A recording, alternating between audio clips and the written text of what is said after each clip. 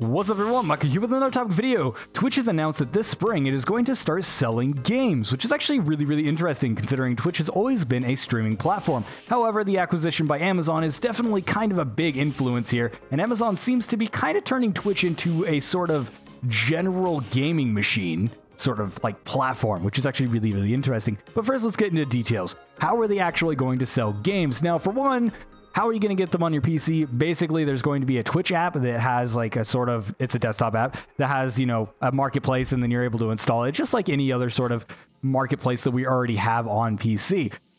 Now, what's actually really, really interesting is that the developer are going to get 70% cut, which is pretty standard for these sort of things. However, there's also going to be a 5% cut if a streamer manages to sell a game. So, according to the announcement, basically, if you are on a streaming page and watching somebody stream a game, there's going to be a buy now button if the game is available on the Twitch platform which means that basically you'll be able to buy it right off the gate just by pushing that button, and the streamer will get a 5% cut from this.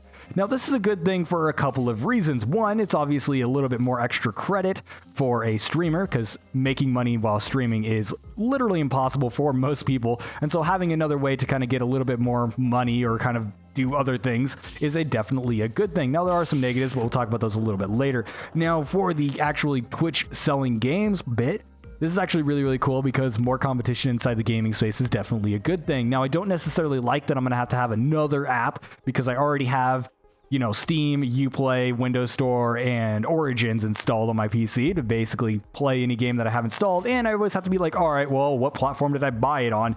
And I'm really scared that Twitch is going to start having exclusives as well. You know, this whole exclusives thing, which Humble Bundle started doing recently, and I'm not necessarily a fan of, is I don't really like exclusive titles on a specific storefront. And this definitely doesn't seem like something that's going to have unique titles, but it definitely probably will in the future if it ends up performing particularly well. Which is my main concern with the platform itself. Now, the streaming bit definitely has a lot of concerned people as well, to where you can end up having you know, streamers because they are going to be getting a 5% cut if they end up streaming the game and then, you know, kind of benefiting from it. One, it could end up causing favorability for certain games on the platform. And so people could be like, "Oh, well, what game am I going to stream? I don't know. Let's uh, let's play a game that I could actually earn money from playing. Yay, let's do that." And that means that basically, you know, these games are going to be preferably played. And I'm not going to say that I wouldn't be one of those people, not because I would want to make money, but rather because if I was, you know, planning to stream and I didn't know what game to stream, and I needed something to play, I was like, all right, you know what?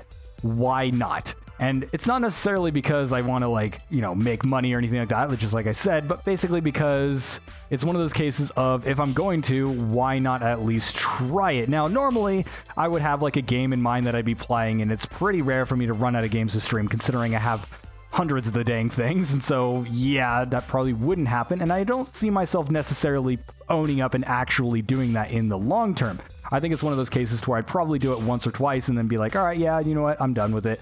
And then that's probably it. However, I definitely don't think that's going to be everyone else's mindset. I think most people are going to be like, you know what, sure, I can make a quick buck from this. And that favorability is definitely not going to be a good thing. However, there's also the kind of point where on the other end, there's also the kind of kind of toxic reason I would say about people just streaming to kind of make money. The more ways that you can make money from streaming, the better for people that do streaming for a living. However, it also incentivizes people to end up streaming certain games. Now, this isn't necessarily a bad thing on the marketing end because Twitch has definitely become a marketing platform. We definitely saw a lot of marketing with games like, let's say, For Honor, for example, which had this huge kind of big marketing push on Twitch from uh, Ubisoft, I believe, was the publisher of that one. And so they were basically like, hey, you know what? We're going to pay a bunch of people to stream the game, and people are going to, you know, end up buying more of the copies because they end up seeing their favorite streamers and everyone else streaming it. So they're like, hey, this game must be popular. And they ended up doing the same thing with Rainbow Six Siege, which I don't think it necessarily worked for Rainbow Six Siege as well. But regardless of the situation, it ended up being fairly successful for them. And so, you know, Twitch moving on to trying to sell games in this manner definitely doesn't kind of surprise me. It's more of a case of, yeah, kind of obviously that was going to happen. I just didn't exactly have like expect it to be its own storefront. I expected it to be something like Steam Keys or something along those lines, to where it would be a system to where you would use other storefronts rather than their own. Now, the positives to this are kind of obvious in everywhere, as in basically, you know, more storefronts and competition is always a good thing. And I think that Twitch kind of getting into this whole, or rather Amazon really, because I don't think it's necessarily Twitch, but rather it's Amazon, kind of having a storefront isn't necessarily a bad thing either. Maybe you'll end up kind of combining it with your Amazon Prime if you end up having that because it already integrates into Twitch. And I could see a lot of sort of bonus types content going in for streamers, and maybe it can end up being a way to get games to end up streaming as well. Like, let's say, you know, somebody's a streamer or you're a streamer and you want to kind of get games for the platform. There you go. There's going to be a prime selection, and you always know there's going to be a market for it because, of course, Twitch is going to sort of promote the games that it can sell. And so it's not necessarily going to be a bad idea to end up kind of picking up games on that system. That said, there are definitely some drawbacks, and I am kind of concerned with a lot of the ways that these sort of things are going. And it could end up running into a situation to where, you know, Twitch kind of has like only a limited selection of games and then ends up just being another storefront that people have to bother with. And if that ends up happening, will the Twitch store even end up being very successful? Will it end up being something that people even consider buying from? Because I could definitely see a lot of people being like, you know what, I don't really care about this storefront. I'm just going to go on and buy it on Steam because Steam's what everyone uses, and that's what I like to use because it literally has everything and does everything. Or they'll be like, hey, you know what? I want to just buy it through Uplay so it syncs with all my user user accounts and everything. Now, that's not to say that the Amazon, or rather Twitch, thing isn't going to have just games on their own platform. It could end up being keys as well. And they did say it would, you know, sync with things like Uplay or Origin. They actually used those two examples because they mentioned uh, Ubisoft and EA. They were like, oh yeah, you could buy games from your great publishers like Ubisoft and EA and some other company. I forgot what the name was.